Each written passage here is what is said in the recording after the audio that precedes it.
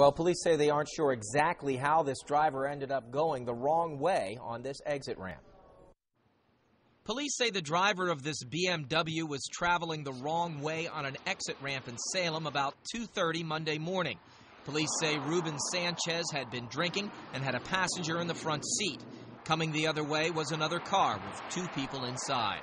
The opposite vehicle, of course, was exiting the highway, uh, traveling on the same roadway, traveling in the proper direction, and right at the uh, at the sharpest point of the curve, as it as it curves to the right, uh, both vehicles made contact, pretty much in a head-on fashion.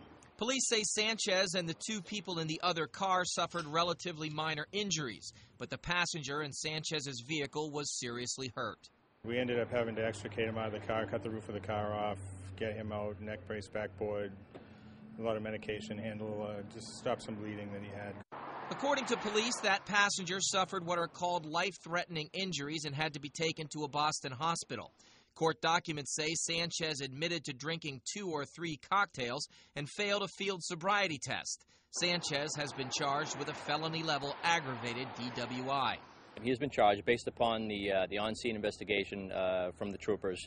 Uh, they believe, uh, of course, that alcohol was a, a factor involved in this. Sanchez's bail was set at $25,000 personal recognizance and $2,500 cash or surety. He'll be back in court again before the end of the month. Reporting live in the newsroom, I'm Andy Hershberger, WMUR News 9.